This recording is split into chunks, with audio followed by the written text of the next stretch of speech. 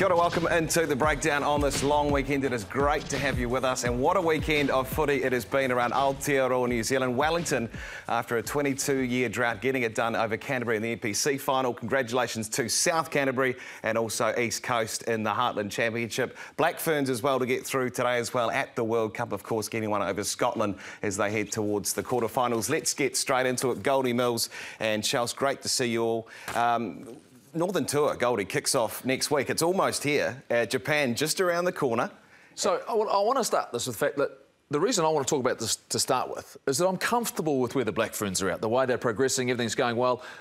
I'm comfortable at Wellington, deserved to win the Bunnings NPC. They did that beautifully last night in Christchurch.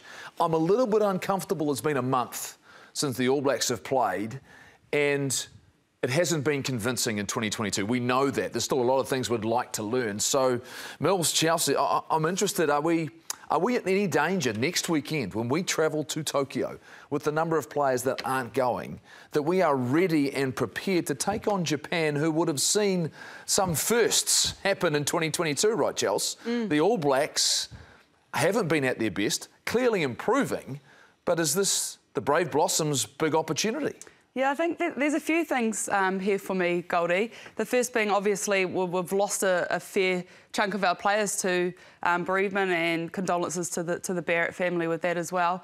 Um, but but there's some of our leaders in the team, so I think there are some positives that come with that, and it's going to mean that the likes of Stephen Perofeta, Damian McKenzie coming in, um, those, those, guys filling those roles are going to have to really step up and take charge during the week. Um, the team has been hasn't been together for four weeks, so there's going to be um, some some relearnings going on, um, some new combinations coming in with new guys, um, and the other thing is there's there's four tests, and I don't imagine um, it, it, I don't imagine a player is going to play all four of those tests. So when are, they, when are we going to rest these players? Is it going to be in the first test against but, Japan when they haven't played for four weeks? They've just had a rest. Yeah, exactly. They've just had a month off. So, so does that mean we play our best team in this test? So we rest them for, for Scotland? I'm not sure. It's going to be an interesting week to see see what unfolds in the All Blacks camp. I, I'm I'm really interested. I think the big thing for me is that four or five weeks that they've had off and the unconvincing of this whole season. I don't think you, you, can go into this Northern Hemisphere tour and say, hey, this is our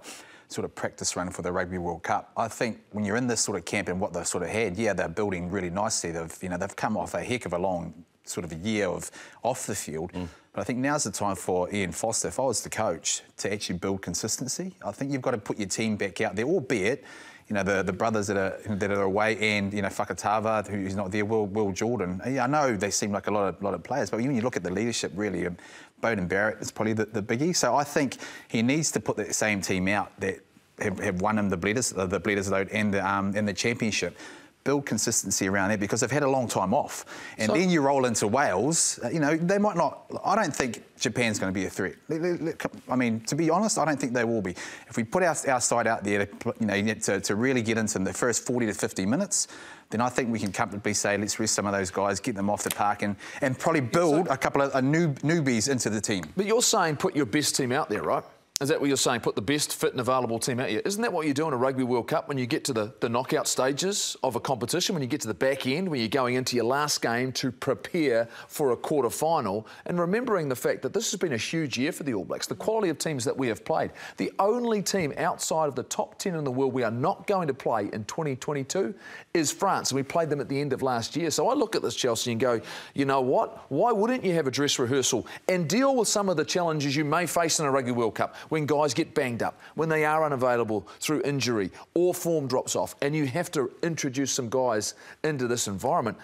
This is an opportunity you talked about. There are some positives, but by the same token, we need momentum, right? We need momentum. We need to keep building on that to build confidence. And I just look at it and go, and you mentioned the four test matches as well. You know, which of these four test matches, in theory, would you think is the easiest? Is it Japan, the last time we were in Edinburgh against Scotland?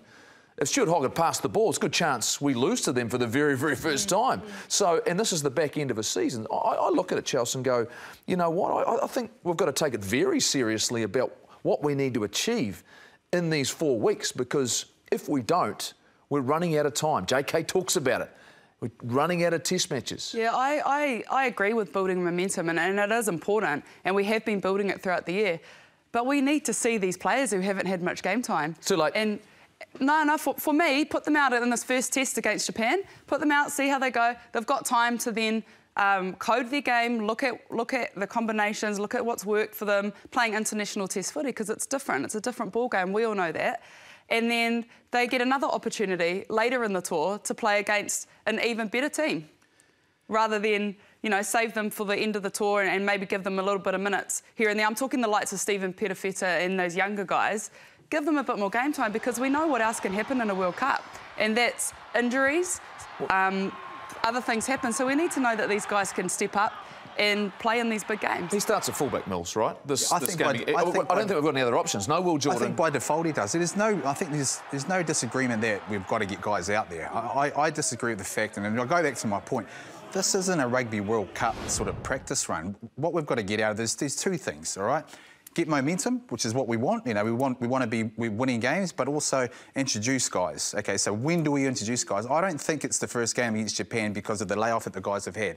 I think it's the Scottish test. I think you go in there and you say, well, let's put our best team available. Perofeta probably gets in there because you know Barrett, Beauden Barrett's sort of out. It's a great way to introduce someone into that. You, you lead into the Welsh test and you're humming. This is what you want to do. Okay, the Scottish test, you might want to say, well, is a Roger Tuivasa-Sheck. Do we bring him off the bench? Do we introduce another couple of other guys? Because then there's a short turnaround before, and I think that England game has got to be the one that they win. They've got to come away from that end of year tour. Japan, you know, let's get a lead on there after that five week break.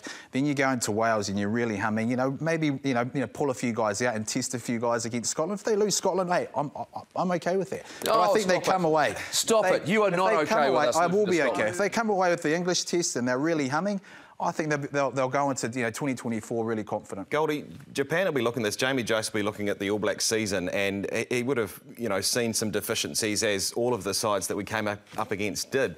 Uh, what do you think he's thinking? Because there's a lot of talk over in Japan that they could do a hit job on the All Blacks. Well, oh, look, uh, him and Tony Brown will be preparing for an opportunity. Look, in the middle of the year, they had France at home and they performed admirably. They put themselves in a contest, had a chance to um, beat, you know, the number one, number two ranked um, side in the world. So Japan will be looking at this. But in saying that, they've played very little rugby in the last three seasons. Very little international rugby. They themselves will be looking at who their team is, who their squad is. They're putting together and whether or not they're looking towards the future, but the here and the now is in 2022, Chelsea, the All Blacks have been vulnerable. There have been games that they haven't performed at their best. They started to show some signs, but still moments away from losing to South Africa, losing to Argentina, it's taking.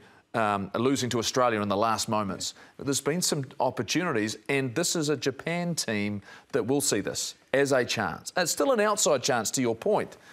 Well, Mel, since the late 90s, we haven't been in a position where we've lost four test matches heading into a Northern Tour. So if you're Ian Foster and the coaching staff, what sort of mindset does he have? Because as you've kind of alluded to, they have to take one test at a time and just get these out of the way and win these test matches. We don't really have the luxury in this cycle, do we, heading into a World Cup of going, OK, well, we can experiment and make He's matches. just said he's prepared to lose to Scotland. I, I am. Like I think, I think right now it's different. Uh, it's a really good chance to say, well, we- you know, let's reinvent the wheel. We, you know, we've gone into Rugby World Cups with a, you know plenty of confidence. This is a time for Ian Foster now to go, okay, cool. I'm, I'm set in stone here. You know, we know what we're, we're absolutely doing. So when we rock up to, to Japan, I'm, this is what we want to get out of it. I think building momentum. We haven't lost four Test matches in one calendar year, so. He needs to continue that. He needs confidence within that team. So, hence the reason why I say, you know, get the Met back out there against Japan. Okay, if it takes, hopefully it doesn't take that whole 80 minutes and we're not, you know, sort of an arm wrestle. But I think if, it, you know, realistically, if it takes 40 or 50 minutes, then start getting them off, and then you roll into, you know, the the, the Scotland, uh, the Welsh game, and you're really fizzing. You know, you're, you're hammering that game.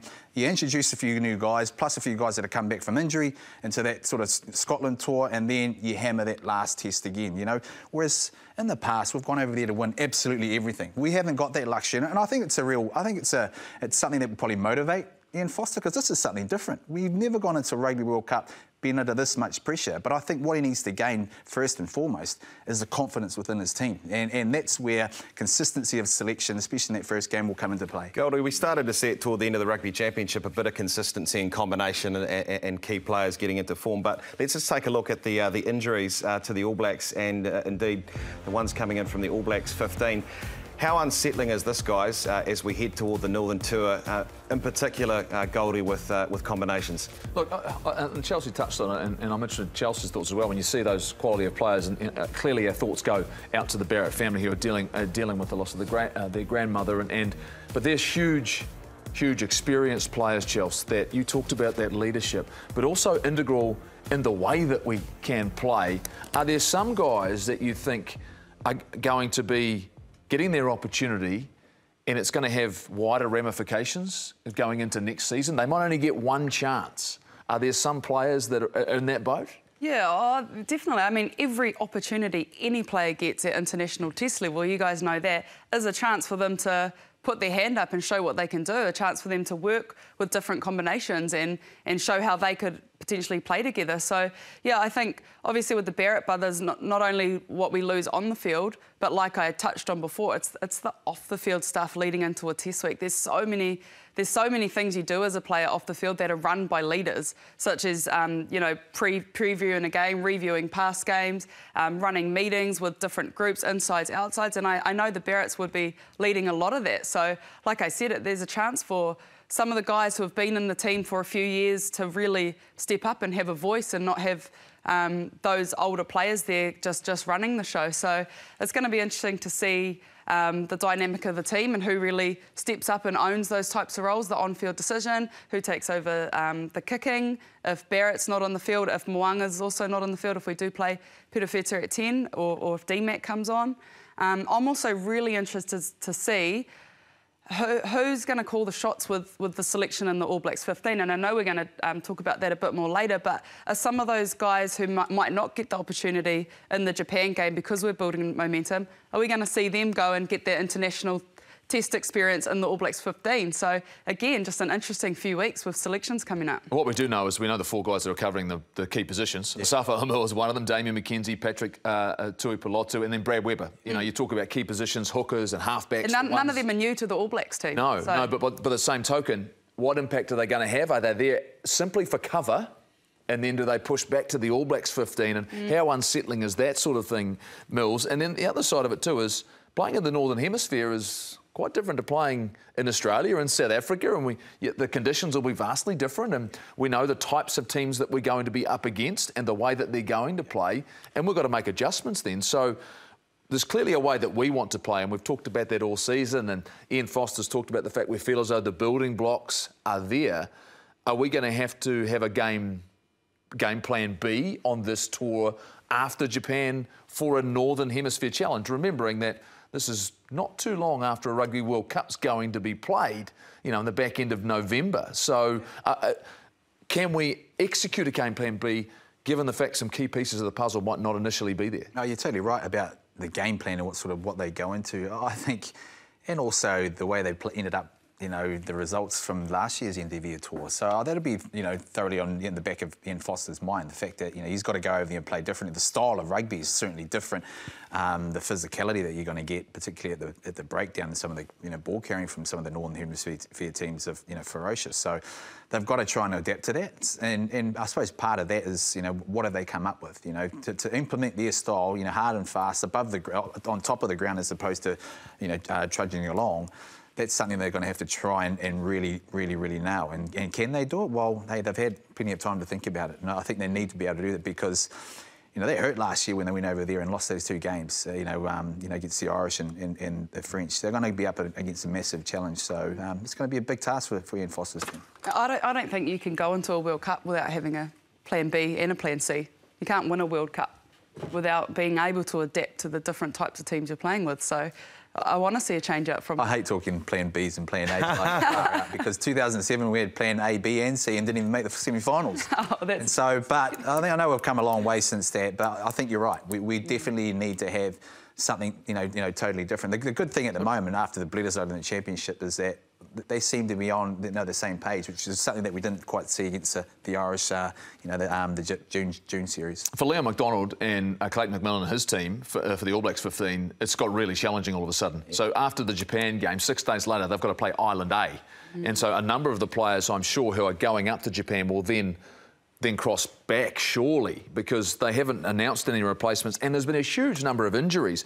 Um, uh, McAllister and Bell, they got banged up in the final yesterday. Uh, Ollie Jager's out. He's out for a, a, significant amount of time. No Angus Ta'avao, no Bryn Gatland. But then you've taken Patrick Tuipulotu, Brad Weber, Damian McKenzie, integral parts out of that group mm. as they're preparing for their game. I, I, look at this right now and, and, and I think about this, this All Blacks 15 group how easy it is going to be.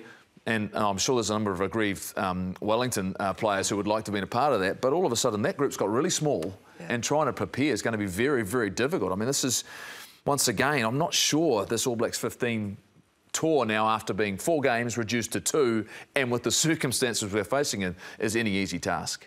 No, well, definitely not. But that, again, like I said before, it's going to be interesting to see selections and who, who's going to be actually making those selections. Is it going to be the All Blacks 15s coaches or is it going to be Ian Foster and the team because they want to make the selections that they want to see um, to be, you know, the, the, backup players for the All Blacks in case of any injuries leading into a World Cup. So, but the, the thing that, that will be hard for that All Blacks 15 team is you've lost you've lost your nine and ten.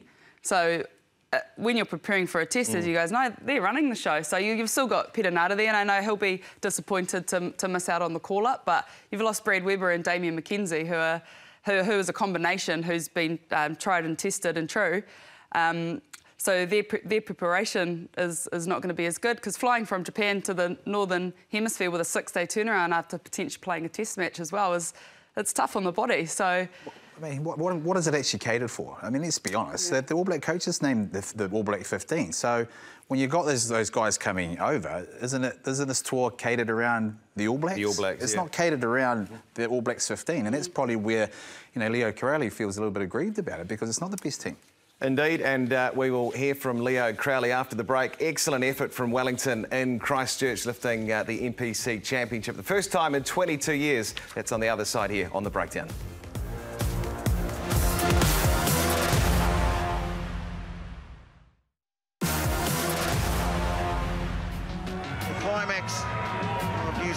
Domestic rugby season, Bunnings NPC final in Christchurch.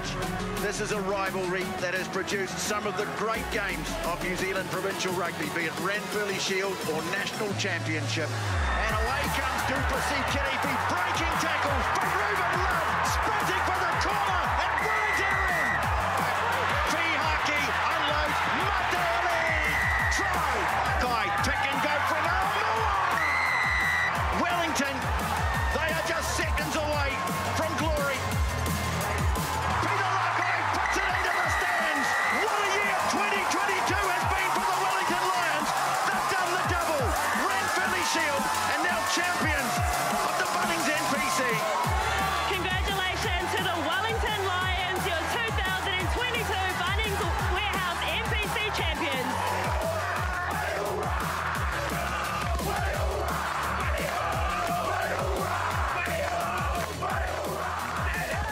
No Mai Hookema, welcome back to the breakdown. Yes, Wellington, 22 years in the making. Another title back on top of New Zealand rugby to go with the Ranfurly Shield. Uh, they lifted this year as uh, well.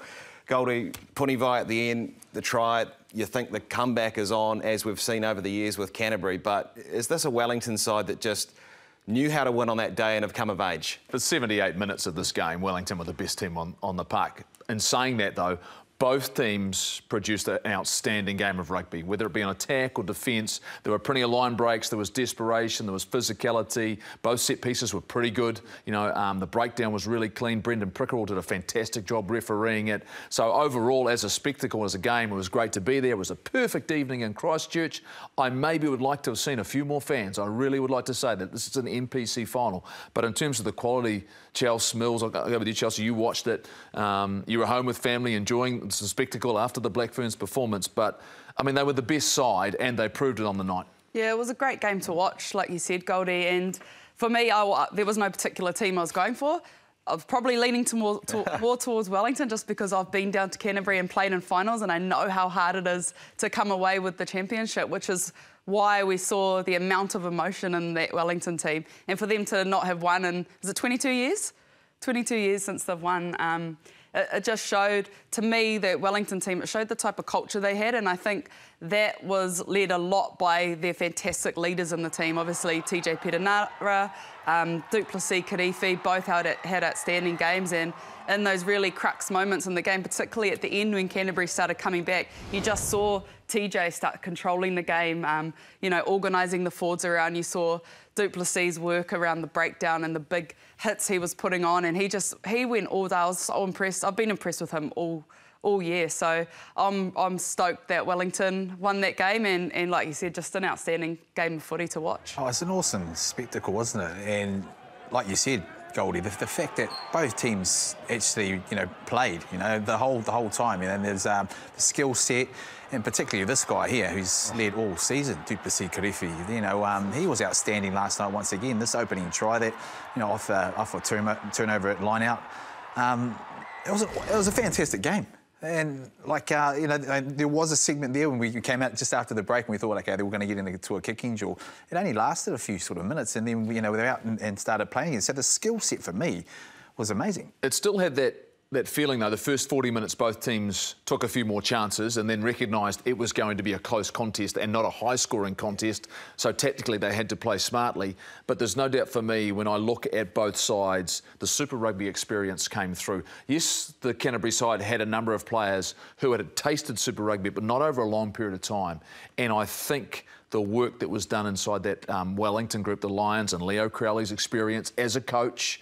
he's been coaching for a long, long time. It brought them together, and having the likes of a TJ Perenara, who managed to play the, the last couple of critical minutes in the game as well, came back off the bench to have an impact to try and settle his team down because Canterbury made their last push. We've seen it so many times before. We almost expected one last, one last play, but overall, you know, I think the experience of that Wellington group, even the likes of a, um, a, Jackson Garden-Bachop, you know, who got subbed after 60 minutes, controlled the game really, really well, had done that for the last month and a half. So I look at the group and go, you know what, experience across the board played a huge part in this result. Full of praise for Wellington uh, tonight, Goldie. Uh, last week he actually picked Wellington. Everyone on the breakdown picked Wellington, but for some reason, in the space of a week, he changed his mind. Let's take a look. I think they can do it. I genuinely you believe think, you think Wellington they, can do it. I think Wellington can do it. I think they can go into Christchurch. I think with Julian Savea, Ruben Love in the form that he is in, the way TJ Perenara, uh, Duplessis Kirifi, there's enough experience in that group to understand the big moment, to understand what they need to go down and win. They can, they will. I believe Wellington, the Lions, will be crowned champions this weekend. But I've jumped off a few bandwagons. I said Waikato, then I said North Harbour. North Harbour got, uh, uh got ripped off, to be fair. What do you reckon, JK? Have you seen that poll up there?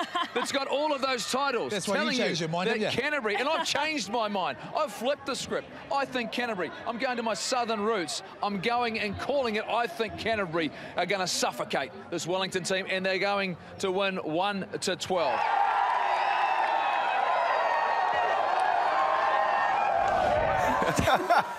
so. So much passion. So. Uh, both made sense, right? Uh, both made sense. Um, look, I, I, can tell you sort of what happened. It had been a long week, and uh, clearly I was down in Christchurch, and I felt it was safer for me after what I said last weekend. Look, um, like Mills and Taylor, Mills and Taylor went Wellington, and I thought, you know what? Just to make it interesting, just in case Canterbury won, I could have a really enjoyable post-match show. Um, look, deep down, I did, I did, like I said, I did think Wellington were the team, but I thought Canterbury at home. I looked at that light poll, and maybe either way, compelling argument. Either way, the poll you looked well, I, up. That was almost that was it was like Mills has sat on so many fences uh, uh, on this show. Put it on me, mate. Yeah, I just decided. I we, go, we go to your yeah. picks nice and early next next um, you know pre-match, and I'm yeah, just but like, like I said, though, I'd pick North Harbour, I'd pick Waikato. I mean, I'd been everywhere in this NPC. That just shows you the quality of the, the competition, how close it was. You know, and the last hurdle, I got it wrong. All right, let's let's talk about the, the competition, guys. The NPC came back to, to the to the one format this year. Mills, a success as far as you're concerned? I think so. Absolutely, it was a success, and I think the two best teams, you know, last night, um, you know, played played in that final. Um, how does it look next year? Um, it'll be interesting to see Chelsea, um, you know, just the way they sort of play out the pools and, you know, who goes in the odds or the evens or sort of what, what they name it as well. But definitely, uh, the format for me was fantastic. Yeah, I do agree 100%. I thought the, the format was out, was outstanding this year. It gave everyone a shot at the championship. And I think it, it shows by um, the amount of different teams who have won it over the last three years that it's not just the same teams. Obviously, some teams are more consistent than, than others over the years, but um, with, with players coming in and out um, and all over the country now, any team can really challenge to, to be championship. And I, I, didn't like it when there's the, sorry, the premiership and the championship, mm. when some of the championship teams are, are winning all their games. And we could see that they'd be able to beat a lot of the premiership teams, but the draw just didn't work out. Jeff, you look like you, you want to disagree uh, over well, there. What, what, what I'm looking at here, though, is the fact that in the end, the teams that were deepest with Super Rugby players yeah. are the ones that contended for a title. Sure. And so realistically, not every team, I think, is going to have a chance to go on and win. Now, there were but, a few surprises this year. Better. Well, uh, if I, I, look at the season of Northland, mm. I thought they did a fantastic job. But in saying that, they did have a number of really good Super Rugby players in their squad. And so not many competitions around the world are balanced and even and talent spread. And NPC should be reflective of what you've got, first and foremost, in your province, what you can produce locally, what you can develop and become a, a provincial player for you. And that needs to be really critical. And if I think if we can get down that path, maybe we'll see more performances like Northlands. Southland and Manawatu might find a way to be more competitive, but at the moment it's going to be, I think, very difficult for them given that the nature of the 14 teams. It's tough for those sides. I think the, the massive benefit here, though, is if you're a player from one of the smaller provinces, and we, we, see it happen in the women's game in FPC because it is split, some of the girls that are selected in the Black Ferns team, say, for example, out of Taranaki, they don't want to go back and play for their home province um, simply because they're not playing against the best players in the country because they don't get to play in the Premiership. So I hope that making the competition like this, you'll have some of the guys that are from Northland thinking, well, actually, I'm actually going to be able to play against the best players in the world. I'm going to be able to play with and against Super Rugby players. So, yeah, I will go back and play for Northland rather than going to pick one of the biggest regions who have, who have, already stacked with super players. Well, what you have to, though, if you're going to do this, you have to leave spots available in Super Rugby to select some of these guys on form. If you're, you want a player to stay down and play against the best and play for Southland and to Manawatu, to stay locally at home and go, you know what, I'm going to be judged on my form here, playing against the guys out of Canterbury, playing the best guys out of Wellington and Auckland, so that, you know what, if I step up there, there has to be somewhere for me to go. And at the moment, there's not enough of those spaces to value the NPC the way it should be valued. There's not enough spots available in Super Rugby before the NPC even starts. And we need to find a way yeah, to open up that, those doors. That's why we're seeing a lot of the players go and play in the likes of the Major League over in USA or, right. or in other club teams around the world because that's their opportunity. So yeah, I agree. Well, a number of those players in the final uh, last night uh, for the Lions, outstanding. Du Plessis-Kirifi, Billy Proctor, Xavier Numia, not a part of uh, the end of year tour, or indeed the All Blacks 15. Leo Crowley, and quite rightly, he used his moment, he used his platform after the Wellington win. Let's take a look at what uh, the Wellington coach said uh, about uh, some of his players perhaps missing out on a spot in those teams. Yeah, and hey, I'm going to put it out there. We're disappointed we've only got three boys in that All Black 15, yep. and two of them are All Blacks. Yeah. So hey, we're 10 in a row here now, and we've had a really good set. How can we not get Billy Proctor and a few others in that team? Makes a good point. Makes a great point, Goldie. Like some of those players been playing out of their skins and, and led them to that title. Um, James Blackwell uh, for, for Wellington. You know, an outstanding lock.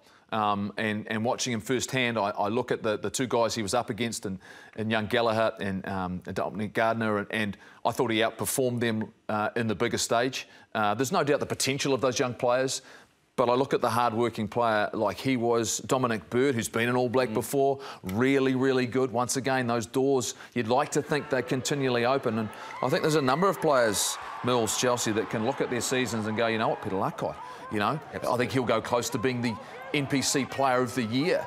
The fact that he hasn't, he's missed an opportunity. So, in some ways, I think Leo Crowley's got a point. I think it just comes back to my point about the All Black coaches picking the side and what, what they're catering it for. Are they catering it for the All Blacks for the well for for the, possibly the Rugby the World future. Cup? Yeah, the future a little bit, but the future in terms of the Rugby World Cup because if they normally you, you pick a 15 that's the best guys for the future in terms of two or three years. You know, the likes of you know, if you look at he, he mentioned Billy Proctor, right? And I thought he had he's had an outstanding season. You know, last night as well his defensive effort was was was awesome. He came out of out of line, but he sort of adjusted really well. His defensive um, stuff was awesome. But if you look at the guys that made the 15 and Billy Proctor, they they picked oh Moore, Nankivell. You know, those probably the sort of the guys you think you know you know who do you, do, do you replace them with? And if you look at those two names, they're possibly looking at those those two guys as maybe making the All Blacks for the Rugby World Cup if we need them, and that's probably why he's missed out. If you're naming it and naming an All Black 15 based on you know the, the second best best team, they're not worrying about the Rugby World Cup, then I think a lot of those guys should would would make it, you know. Um, and unfortunately, Mir's probably a, a, another one, but a lot of injuries have come into play in the propping department. So perhaps you know he's, his name is now you know being put out there. Um, but I, I, I, agree with you. You know, Bird and that Bird last night. You know, Blackwell.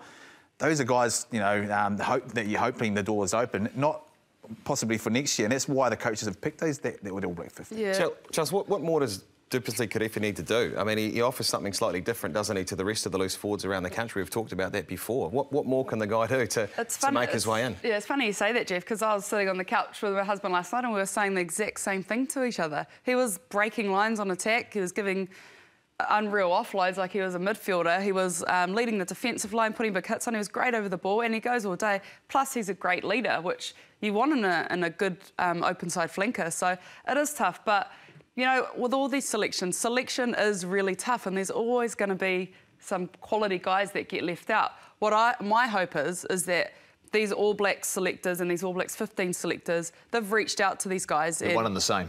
And You're the same well, people. But that's the reality, and the fact that that I think explains what Mills is talking about, right? Yeah, yeah. I hope they've re reached out to these guys and, and commended them for, you know, ha having their uh, a stellar season and explain to them what the role of this All Blacks 15 is because we're still unsure. We've talked about it week after week. Well, is, it, is it a development team? Is it a exactly 15? that? And I think we don't know. developing players to play the international game. And I think for Du Plessis-Kirifi, if you look at the role the seven plays at the highest level now, and you talk about that that genuine feature, which is what he is on every given breakdown, he gets an opportunity. And that's where he's improved his discipline as Big well, time. his accuracy. He used to give away a lot of penalties. It used to frustrate me watching him because he wasn't making good enough decisions, whereas now technique's outstanding. But if you watch the game at the highest level now, those turnovers are getting less and less. The physicality is what's required in terms of your presence, your ability to hit.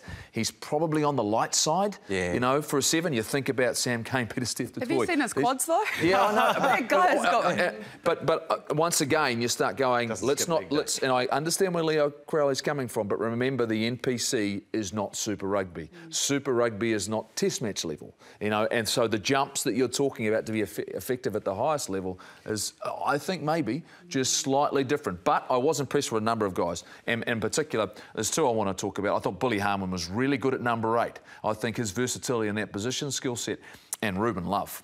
Mm. He's one out of the box. He is he is exciting to watch. I'd like to see him goal kick more because I know he can, but man, um, there's some talent there. Whether it's a fullback, we've got to find out what his position is next year for the Hurricanes. Yeah. All right, for the Hurricanes, where's he going to play? Sorry, I'll keep going. That's all right. You, you, made a good point, Mills, too, about uh, you hope that the phone call was made because we are in a World Cup, leading up to a World Cup cycle, a World Cup next year. You hope that some of those guys that are on the fringe have just maybe missed out, get uh, get, get, get, that, get that word and hey, look, you know, keep doing what you're doing because next cycle you'll be right in there. Um, we need to talk about uh, South Canterbury and uh, the Meads Cup. Another unbeaten season uh, down at uh, Pleasant Point uh, Domain. Simply outstanding getting the win over Whanganui. And we'll take a look at the highlights on a beautiful day. And, well, this is really the turning point. Leti Nganga from South Canterbury, the intercept was fortunate enough to be there with Ben Castle and Joe Wheeler calling that one, guys. Uh, Goldie, you, you, sort of talked about fan engagement and um, we just seem to see it on a different level in the Heartland. And, and I think this, this scene That's right here just epitomises that. because it's close to club rugby. Yeah. That's what it is. It's closer to club rugby. These are players who just play in their local club competitions, who have jobs that they go back to. They train on a Tuesday and Thursday night. Some of them might go for the odd run. They're playing for the pure enjoyment and their fans know them. The, their fans are their families, Chelsea, isn't that right? That's the, and, and, and it's very much closer probably to FPC, is mm. the fact that all of a sudden there's a, there's a different feel about it. And it's great to see. It's at a stadium. It's not a stadium. It's at the local club ground, mm. you know, and that's closer and more connected to it. And Chelsea, they could perhaps learn from this, couldn't they? Because uh, obviously Alpine Energy uh, down in Timaru out of action, so they took it on the road, uh, South Canterbury, around the grounds. But uh, I think smaller grounds, would, would you agree, could be the option going forward? No one wants to see an empty stadium in the NPC. Well, when, when Goldie told us that half of the stand wasn't full in, a, in an NPC final... Half I, of the stadium wasn't open. I couldn't I couldn't believe it. So yeah, I I think bringing um, the NPC games aren't selling tickets like they used to. So if an Auckland's playing in, in Eden Park every weekend and, and hardly selling any tickets, why not take it to a smaller ground, make tickets cheaper, get families along, and, and get more of a you know rugby community feel? I think um, like, like we, you talked about with South Canterbury, those guys are really relatable. They're out in the community. You might see one of them build it, building your house, doing renos on your house, and then you get to go watch them on the weekend. And that's really relatable for the community. So maybe something that these NPC teams could do as well. And, and Wayne Smith's massive on this. He, has got the Black Ferns doing this at least three times a week in different groups. And that's really getting in touch with the community and being really um, being really open, open with them and letting them get to know you a bit better. And I think that's that's probably why some of these heartland teams uh, get the crowds and get the buy-in that they do from from their promises. It was a brilliant day. It, uh, it was uh, a great day down why at. Why are you smiling Point. so much? What, what, mate, it, it, it, had it all. There were there were pigs on on the spit. Uh, Joey Wheeler was was was frothing. Oh, now it explains everything. yeah, it explains everything. Joey Wheeler's floating around. He was floating around, and he caught up with the South Canterbury boys in the sheds after the win.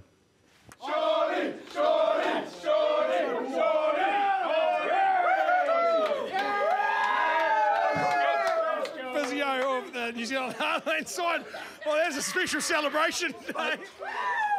I know, just happy for the boys. It's been a good day. South Canterbury, baby. South Canterbury. Let's go, Here he is, the big prop, the big man. What an impact you had on the game, eh? Came on, made a huge impact. You must be, you'll be loving it tonight. You'll be right in the thick of it, I'd imagine. Oh, yeah, mate. Nah. Sorry, mate. I'm just I'm just one of the cogs in the team, you know. Uh, it's a full team effort. I think that's the difference. We've got so much depth in this team that if someone goes down, we can bring someone in. He does just as good of a job, and that's the key to what today was really.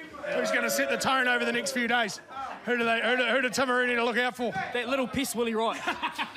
One condition about the, the budgie smugglers and the cheese cutter: when you wear that, you have got to lead from the front. They don't come off. They don't come off for three days. Neither does that jersey. Three days. Three days. Three days. Too fucking easy. Wow, wow. I'll send you a picture, baby. Good on you, mate. Special day for you, mate, eh? Back-to-back champs and then just got named in the Heartland side. Oh, it's what unreal. A what, out, a, what a way to do it, eh? Like, especially with this bunch of lads, awesome, all family, so good, so good. I see you're right in the thick of the celebrations. Is that the way it's going to be over the next couple of days? You leading the charge? I don't know, but I'll, I'll sure be there. I'll be there. Then I'll be the front runner, but I'll be in behind the boys. Special group, eh? Yeah, it's such a special group, and like, you know, you get an injury and there's five other guys behind you ready to come in and do the job with you. Eh? Like, it's unreal. Like, obviously, we had injuries like Zach Mackay played 80 minutes every week and get injured, and then Zach Saunders to come in and you wouldn't even know he's been. You know, guys like that just make the team so special. Eh? Oh, enjoy tonight, mate. Does, still, does anyone know no, if Joe Wheeler's home? We yet, haven't heard from Joey. Joey's gone. He's there. gone AWOL. We haven't heard from Joey. oh, we know where he is. We know where he is. He's in the South Island somewhere. Look, look Craig Calder, the Canterbury, uh, South Canterbury uh, rugby CEO, after seven uh, years, uh, Goldie, um, has called it a day. Before Sir Colin died, he had a chat to him and he said, look, look after the Heartland game, keep New Zealand rugby accountable. If we're talking about being relatable and staying in touch with the game, those scenes in South Canterbury, I mean, that, that says it all. There, there is still a real beating heart and uh, and it was just wonderful to see. Well, that's their that's that's their dream. Is you know for those guys that's their reality. That's they've got no aspirations of being. Oh, some may do, but they they understand the fact that they're going from club rugby. They're going to play in this competition, which is incredibly close to the mills, and you can see how much it means to them. Yeah. And any title you can win, any title you can be a part of, a, a, a championship run the celebrations and the feeling you get from it. I, I genuinely don't think it changes whether it be a club title, whether it be a school title, because it takes a lot of hard work. And you think about the disciplines of those men where they go to, where they work probably eight till six. They get to training. They've got families who are supporting and putting them through it, wives and partners and kids. And there'll be some issues the next couple of days. I don't doubt that 100%. but they'll celebrate and they'll celebrate it in style, you know. And sometimes the professional arm can forget mm, that. Yeah. You can lose sight of that, Mills. Yeah. Whereas that should always bring you back to reality of, you know, and that's why you see some guys at the end of their careers have a couple of few extra years playing in the heartland game. Not quite ready to give it, let it go because they want to be part of something like that. Well, we saw that Mills with with, with uh, we'll move on to um, to East Coast. Uh, I mean, incredible, incredible story. It wasn't that long ago they couldn't buy one 54 game losing streak. And uh, Hosea Gear was was involved as well. They've turned things around. They win the Lochore Cup. I mean, this is uh, this is magic, isn't it, for, for Heartland Rugby to see a team like that that have been doing it so tough to, to now be standing on top. Oh, it's amazing, isn't it? And this is Heartland Rugby is a big part of New Zealand rugby. It's a big part of history. It's the emotional side of, of things. It's where majority of you know your, your, sort of upbringing into the rugby scene comes from. You know your club rugby stuff. Not so much nowadays. And you're right, Goldie. It's so important that we don't lose that touch. And you, you mentioned it, Chelsea, that you know Smithy, you know, brings that in. We also did that at the All Blacks, and I know they still do. They touch on the club that you're absolutely from because that's where you draw a lot of emotion from when you go on interview tours. Yeah, yeah, you know your roots back to your, your, your club, the history behind um, you know club rugby and, and also Heartland Rugby in New Zealand. It's it's it's strong, and that's why you're right.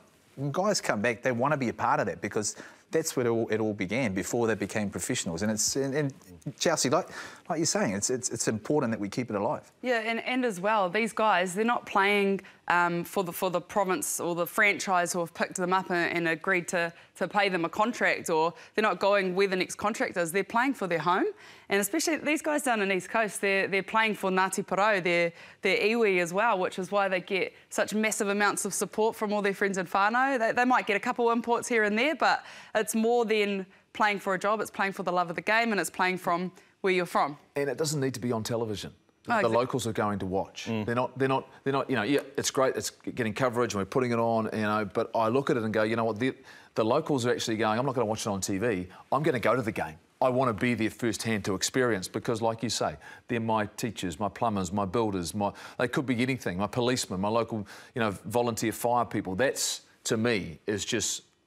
that's what's so integral and, and, thrilling about it when you when you see that just that, that everyone is a part of it. And the community I, community, I believe, the rugby community, your club rugby community, is closer to that than maybe some other levels. it, it is very similar to the FPC mm-hmm. because it's the same as, as the ladies are doing, and and a lot of people comment on how the ladies are very relatable. It's the same in the heartland and the in the smaller provinces as well. So it's awesome to see the support there. Absolutely. Congratulations to Wanganui and Mid Canterbury as well on, on fantastic uh, Heartland seasons. Rightio, time now for a wee bit of trivia. Uh, and the trivia this week is uh, can you guess who this person is?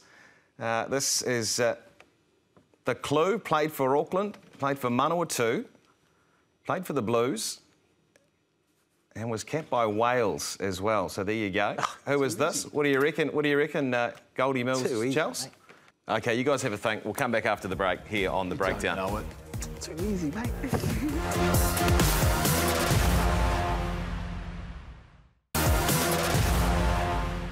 Kia ora, welcome back to uh, the breakdown trivia. Uh, what do you reckon, Mills? You, you, you, said one thing gave it away. That was, was the one thing? The Welsh. What was the one thing? Wales. They've both got it written down. I think they need to say it at the same it? time. They've been bickering in the ad break. Hadleigh Parkes. Hadleigh Parkes. That's what I've got written down. It's Hadleigh Parkes. It's definitely. Hey, it's a lot Parks. smaller then. Show Hadleigh Parkes. Come on now. Show us the answer. 100% There it is. Parkes. Hadleigh Parkes. Yeah. Smart rugby player he was. Really, really balanced. You know, really bounced high. And great for Wales too. Yeah, played really, really well. Was that Declan O'Donnell tackling him in that photo? That wasn't the question, Chelsea. What, I don't know. It wasn't, it wasn't It wasn't ta- who were tackling him, but, but, I was getting bonus points. Was it a Waikato player? Yeah. Yeah, so that was the most... Uh, okay, bonus points... I don't know. Half a point. Maybe. Chelsea, the, uh, the World Cup has been uh, has been riveting to watch. It's been exciting. Uh, the Black Ferns on a roll, uh, getting past Scotland and, and pool play with uh, with relative ease. But we, I guess, we're at a point now. Wayne Smith is at a point now where he's got to start making some some pretty big decisions heading into the knockout stages, particularly in the, in that back three. How do you see the balance of this team and, and some of those decisions heading into the business end? Yeah, it was exciting, isn't it? We're heading into quarterfinals this weekend, so we are getting to the business end. Um, looking like like Black Ferns will be playing Wales, so still let's be honest, they're, they're still not going to get tested until the semi. So um, there was a really cool picture, though, that I saw on Instagram if we talk about the back, back three. And um, it was the sideline, the girls that weren't stripped. And it was Stacey Fluhler, Ruby Tui, Portia Woodman, and uh, one, one other girl. And I'm just thinking, after the display that they just put on, these girls still have to come back in the team. And it's, oh, it was Kennedy Simon, sorry, yeah. Kennedy Simon, the co captain as well. These four are on the sideline, and they're all available this weekend what does he do? It's a tough one. Do you do you um, let go of, of Renee Holmes again, who came back and played an outstanding game and is the top goal kicker? I, I got to ask you that.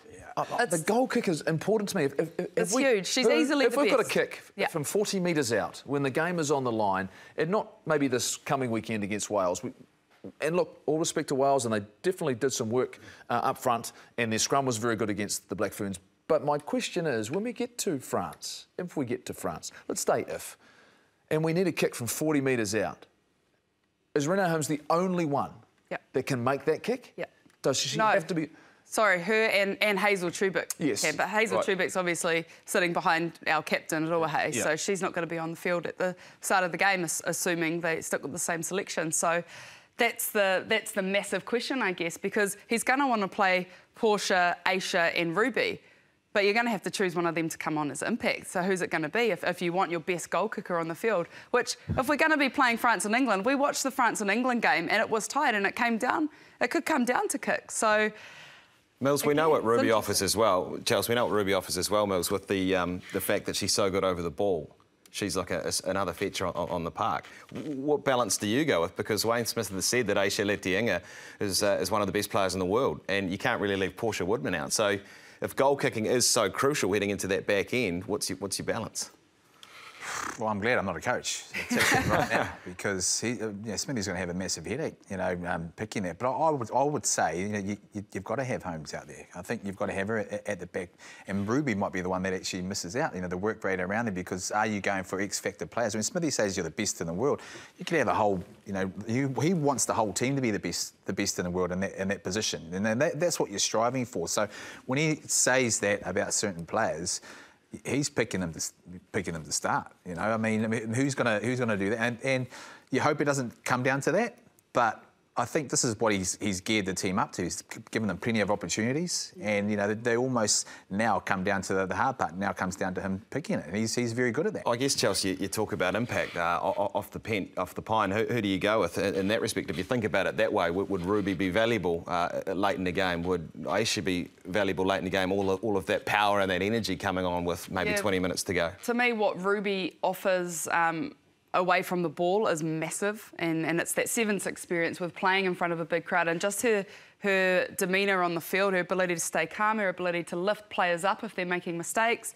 Um, that kind of stuff is massive when you've got a team who's relatively inexperienced playing at a World Cup. So I'd have Ruby on the field and for me as well, um, Portia and Ayesha are very similar types of wingers and, and um, for a bit of inside inside knowledge here, looking at GPS data, they both they both produce the same type of GPS data, and I'm talking about the amount of high speed meters they covered in comparison to the actual distance they cover. Whereas Ruby Tui as a winger covers a whole lot more distance, as she's not as much a power winger, she's a working winger.